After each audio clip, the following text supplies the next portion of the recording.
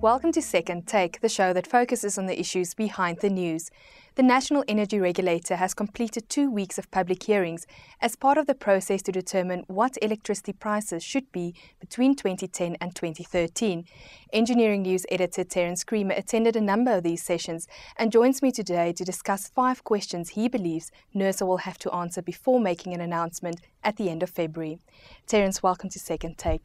The first issue that you believe NERSA will have to answer is whether it is truly equipped to make a decision at all. Why do you say that?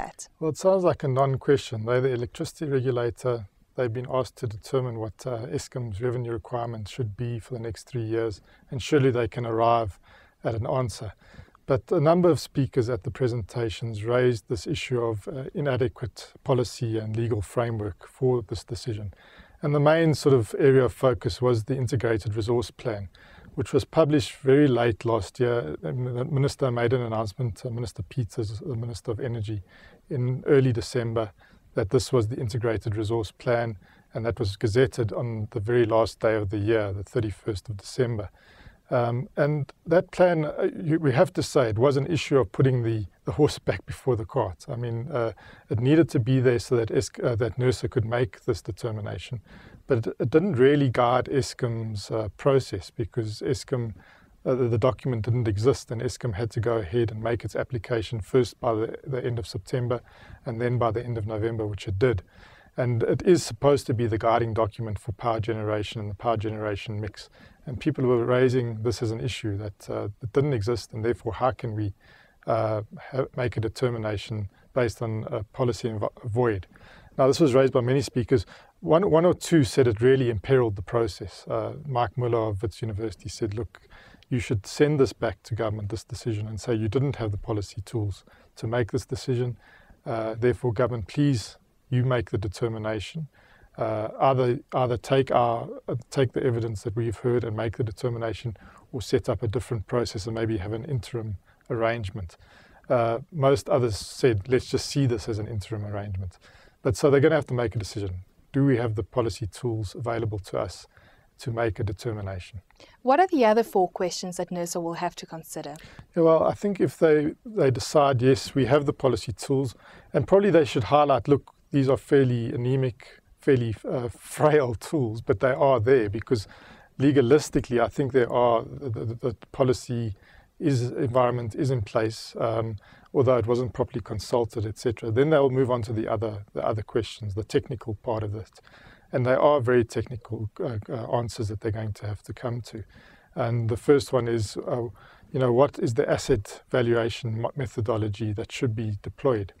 Now, Eskom's used the modern equivalent asset valuation model uh, whereas most of the, or many of the speakers objected to this strongly, said it's a subjective model and indexed historical cost valuation model should be used. In fact, a study by Genesis Analytics showed it would lop a full 10 cents off the final electricity price, which would rise from around 30 cents a kilowatt hour to 81 cents, 82 cents a kilowatt hour under Eskom's uh, application.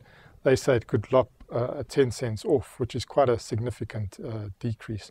The second thing, and it's linked, is what is uh, the, the rate of return that Eskom as a state-owned enterprise should enjoy. Now, Eskom's put in uh, a 10.3, uh, based it on a 10.3 weighted average cost of capital.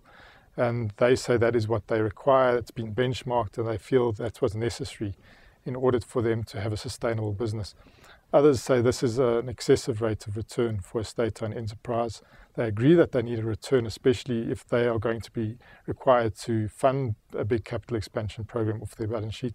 But they say closer to a, a sort of six WACC uh, should be acceptable. The other area where they're going to have to make a de- decision is is Eskom correct on its cost escalations, uh, or is, is, have they been overly generous in what they've asked for, both on primary energy as well as general uh, costs that are rising very strongly at Eskom. And here, speaker after speaker said, look, NERSA, you're the regulator, you have to protect us here. Eskom isn't managing the business.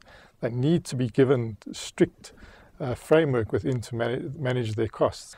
And uh, I think uh, that, you know, rang true with most of, uh, most of the people present please don't give them these inflated coal price valuations at, or escalations. Don't give them this inflated inflation, internal inflation rate. Rather link it back to what we think inflation is going to be, or to South Africa's inflation target of three to six percent, rather than what Eskom is asking for. That would make a very big difference to the outcome as well.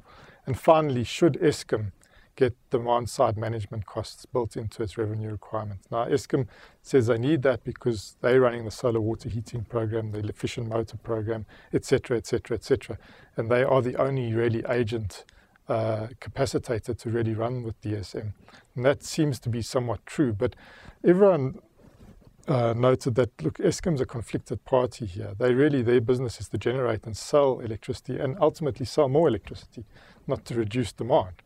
You know, so they will they do? Are they the best agency for delivering demand side management? I think everyone would agree, including Eskom, that they're not. But they're saying, we're the only game in town, so therefore give us the money. Let us roll out the program. This is urgent for security of supply. So it's a it's a big debate for NERSA because they, they do they agree that Eskom is the only game in town? Do they need to run with the DSM, or can we capacitate another agency like the National Energy Efficiency Agency, and can we fundraise in a way that doesn't uh, rely on the consumer, but rather through maybe the taxpayer.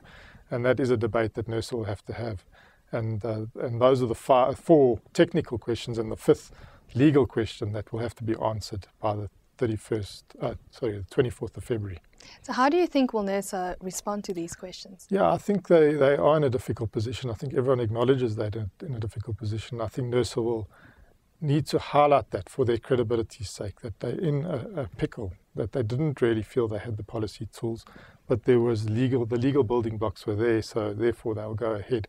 They might send it back to government. I doubt it. I think they'll make a determination. We need some certainty. We need a, an early decision. We can't have this uncertainty going on for, forever. But I think they're going to be very tempted not to go with Eskom's rate of return methodology Uh, uh, they're not going to want to go with the asset valuation methodology chosen. And I think they're going to be quite firm on the cost increases as well as the DSM. Terence, thank you very much. That is the Second Take show for this week. Thank you for watching and join us again next time for more news analysis.